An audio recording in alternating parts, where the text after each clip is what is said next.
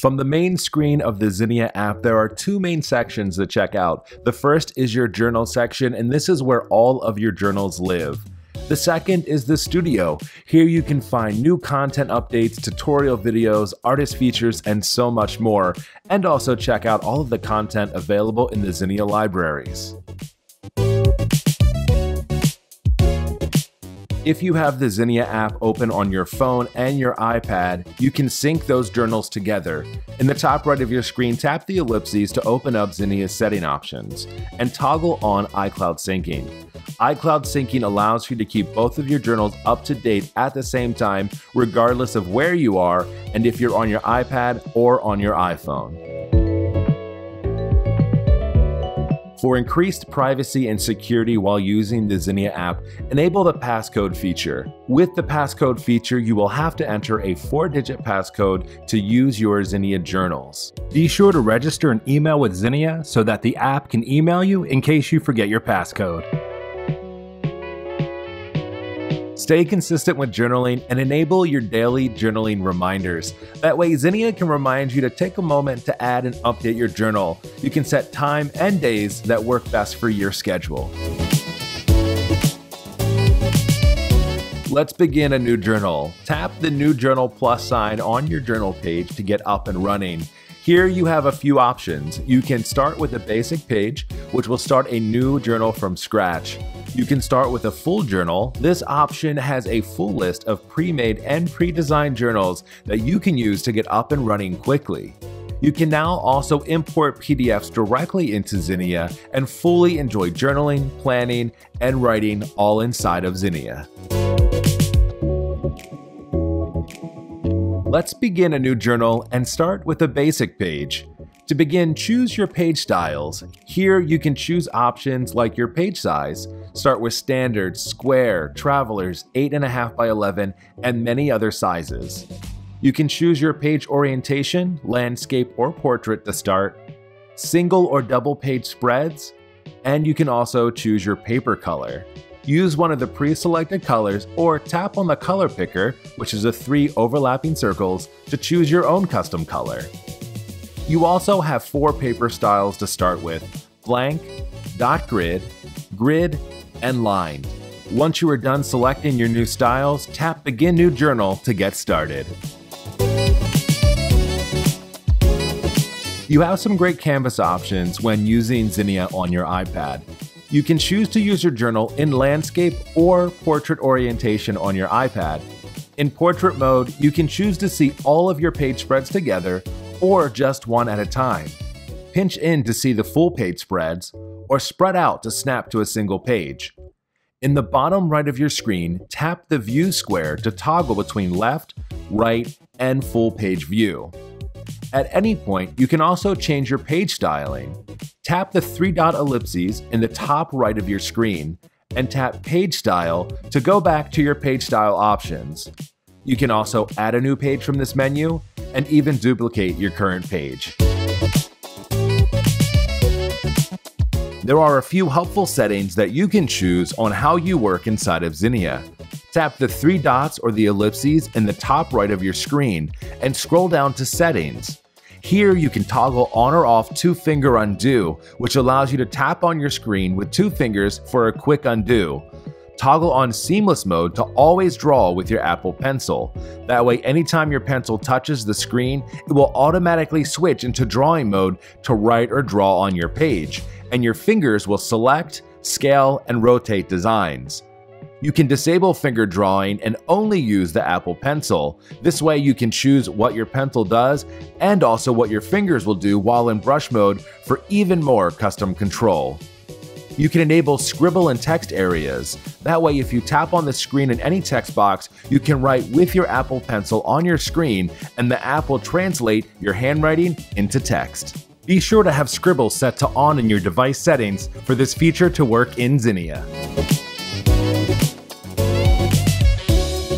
There is an interactive guide that can help you understand and learn even more about Zinnia.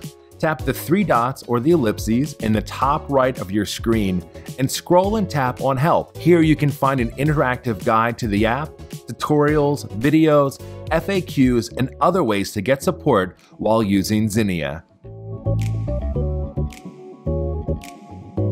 Once you create a new journal, it's time to give it a name and choose a new cover as well.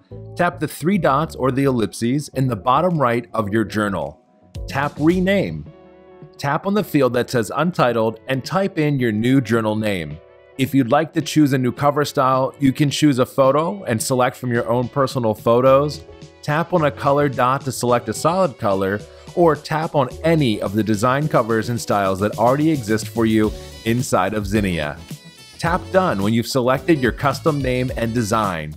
You can change these selections at any time. When you are ready to get started, tap on the journal that you'd like to use. You can tap on your first pre-made page or tap New Page to add a new page type. When you are in your first page, you have a few ways to get started. In the top center of your page, you have your journal menu. In that menu, you'll find the studio icon. This is where all of the stickers and digital washi and so much more live from Zinnia. The photo icons allow you to add your own personal photos right into your journal. The text icon adds live text right onto your page. And the drawing icon allows you to use your finger or Apple Pencil to draw in many different styles inside of your journal. There is so much ready for you inside of the Zinnia studio. Along the top, you'll find recent editorials, including new feature updates, monthly inspiration, and wonderful productivity articles. The studio is also where you're going to find all the different content ready for you inside of the app. Let's start with the templates category. This section contains pre-made templates that you can use to start filling your journal right away. Explore page templates like daily, weekly, monthly, and yearly planners, full journal designs, trackers, and digital doodling and lettering tutorials. Tap on a collection to see what templates are inside, and tap on a template to add it right to your page. What's great about template pages is that they already have text boxes built right into the pages so they're ready to use right away. The sticker category is an ever growing collection of stickers that you can add into your planner. Each collection includes themes, styles, and fun and exciting ways to express yourself in your journal.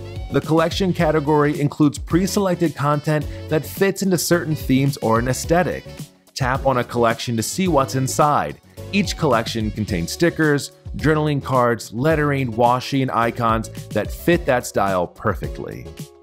Journal cards are a wonderful category to select different types of cards to add into your planner, create fun pages, layer stickers, and write notes to yourself. Text boxes are similar to stickers, but they have a very special quality.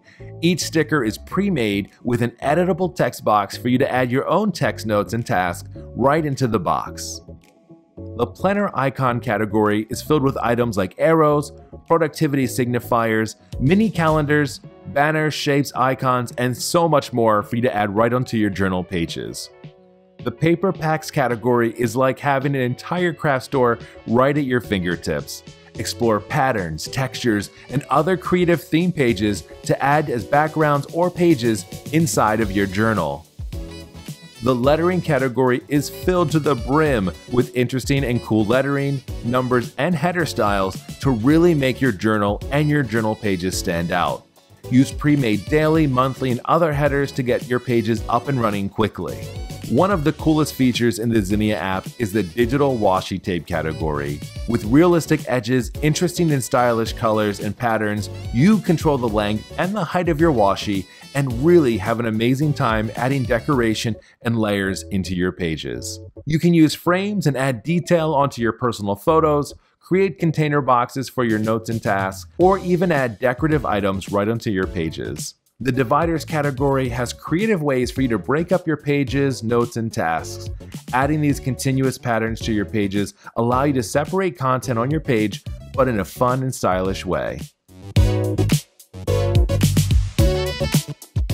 Under the Studio menu, you can use the Recently Used feature to find elements that you've used right inside of your journal. Tap on the clock icon in the top center menu to find all of the items that you've used recently. If you can't find a sticker again, or maybe you're looking for certain items or themes, use the search feature to search by name, item, or description for your favorite Zinnia items. If you want to find what pack a sticker is from, long press on the sticker and tap View Pack to see other stickers and related content from that pack. My Stuff is a personal space that you can add your favorite Zinnia objects into to quickly and easily find and reuse them again. To add to My Stuff, find any object in the studio that you want to save. Long press until the menu pops up and tap Save to My Stuff. You can also save objects from your page like stickers, handwriting, and text boxes. Tap on the object and tap Save. You can find all of your saved objects under the studio icon. Tap the person icon to see your personal collection. Tap on the photos icon to add your own photos to your journaling pages. Remember birthdays, create memory pages, or add your own backgrounds and decorations. Adding text to your pages is a great way to include text to dos, notes, and long and short form journaling. Tap the text icon and tap anywhere on your page to start typing. Your keyboard will show up with some text options for you. The left hand side will show you what font styles are available for each font. On the right hand side, you have your text alignment tool. Left, center, or right align your text. Tap the bulleted list icon to create a bulleted, numbered, or tappable checkmark list on your page. Tap the double A icon to change your font styles. Use the size and line spacing sliders, or choose pre-selected sizes. And you can also choose the color of your own text. You can also bring in your own font into your journal. With the native iOS font picker, any font saved on your device will be recognized and usable in Zinnia. Along with adding text, stickers, and washi in your journal, you can also draw right inside of Zinnia. Tap the drawing icon in your top navigation bar.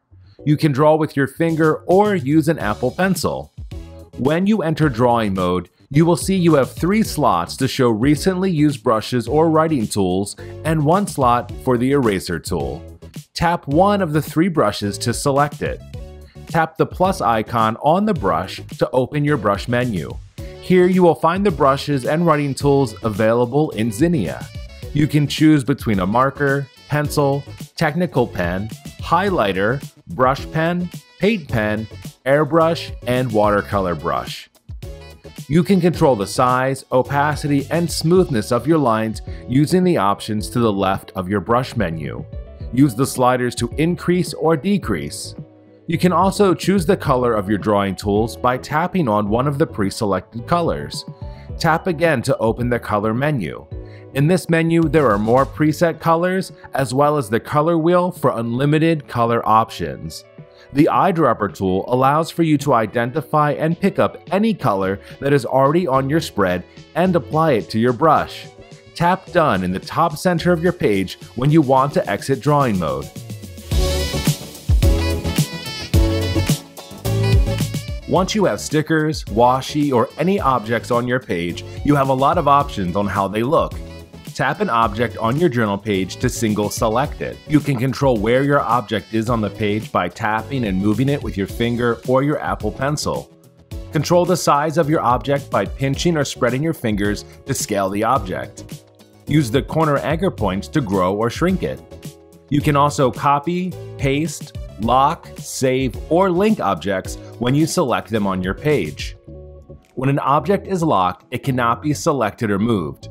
To unlock an object, double tap and select Unlock. You can easily save an object or group of objects to a feature called My Stuff. My Stuff can be found under the Studio icon in the top navigation bar. Tap on the person icon to see all of your saved objects. With an object selected, you can see object options on the bottom of your screen. Tap the trash can icon to remove the object from your page. You can also deselect objects by tapping on the deselect icon. This is great for when you are zoomed in and want to ensure that nothing is selected. Use the send to front icon to move an object forward on your pages. Use the send to back icon to move an object backwards on your page. Tap and hold either icon to move the object to the front or to the back. Tap the opacity circle to use the pre-selected opacity sizes or the slider to change how transparent or opaque an object is. If the object is a solid color, you can also change the color of that sticker. Tap the three overlapping colored circles to open the color options. Use the color preset, color wheel, or eyedropper to choose a new color. To choose a color from your page, tap on the eyedropper, and you will see a color marker on your page. Tap or drag the eyedropper until you see the color that you want in the middle of the circle. Tap Done when you have the color that you want.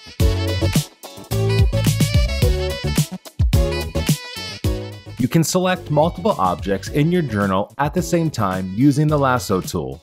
To use the lasso tool, tap and hold on your journal page until you see the lasso icon show up.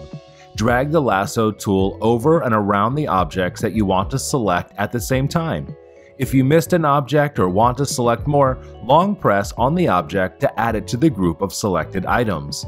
Once all of the objects are selected, you can choose to copy, lock, group, or save the objects together in My Stuff.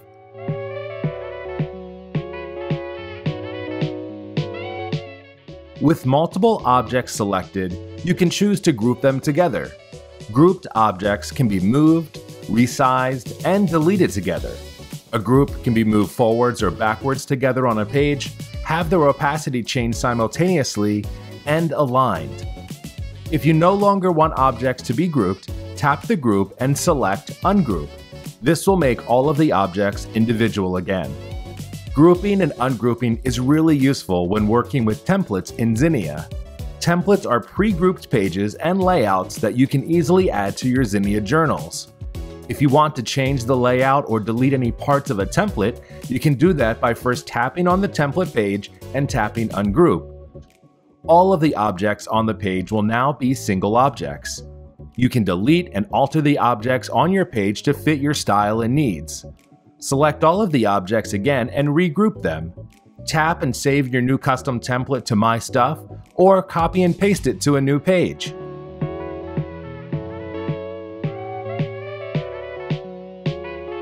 If you want to align multiple objects inside of Zinnia, select all of the objects on your page. In your bottom menu, tap the Align icon on the far right side. You can align your objects left, center, and right, top, center, or bottom, or distribute the objects vertically or horizontally between each other. You can choose to delete your journal pages or an entire notebook if you want or need to, but don't worry, you can always get them back. You can delete a journal page by tapping on the ellipses in the bottom right corner of your journal page. Tapping delete will remove it from your collective journal pages. If you did that by accident or need to get it back, tap Deleted Pages in the bottom center of your screen. Deleted pages will show up with all the other pages here. You can tap on a page and choose to restore it or delete it forever. Once you delete a page forever, you will not be able to get it back. This also works with entire journals. Tap the ellipses on the bottom right corner of your journal and tap Delete. To retrieve it, scroll down to the bottom of your journals page and tap Deleted Journals. These journals will automatically delete in a set number of days, but if you'd like to restore them, tap on the journal and tap Restore, or Delete Forever. You can move and rearrange pages in your journal easily. Tap and hold on the page in your journal that you want to move. Drag it to where you want it to go. Your other journal pages will move around it to make space. Let go of your page to move it into that place. You can also move pages into other journals in two different ways. The first way is to tap on the ellipses on the bottom right of any page and tap Move. Tap on the journal you want to move your page to, or tap New Journal to start a new journal with that page. The second way is by holding the page and dragging and dropping it into a new spot. You can drag it over the Close menu in the top left of your screen. Then drag it to the other journal you want it to be in. Tap that journal with another finger and place the page right into your journal.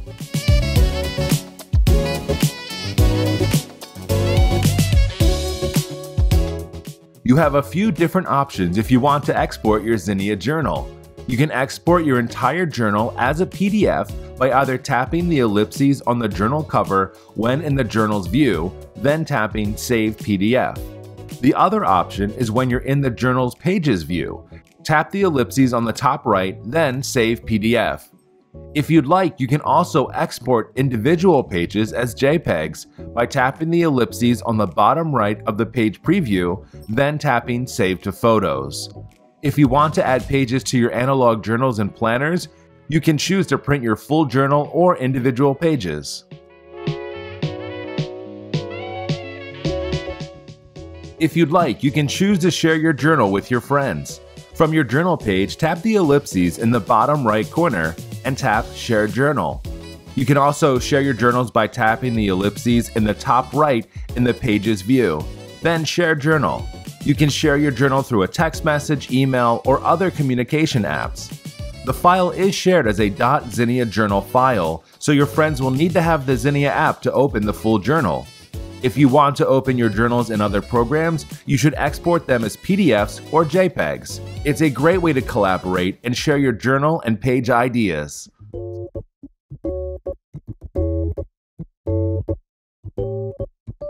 You can now convert photos with writing into editable text inside of Zinnia. For the best results, first import your screenshot or photo of clearly printed text. Next, tap on the imported image and tap on the Convert to Text icon. Zinnia will convert the text in your image. Now you can edit the text or change its font, color, and style.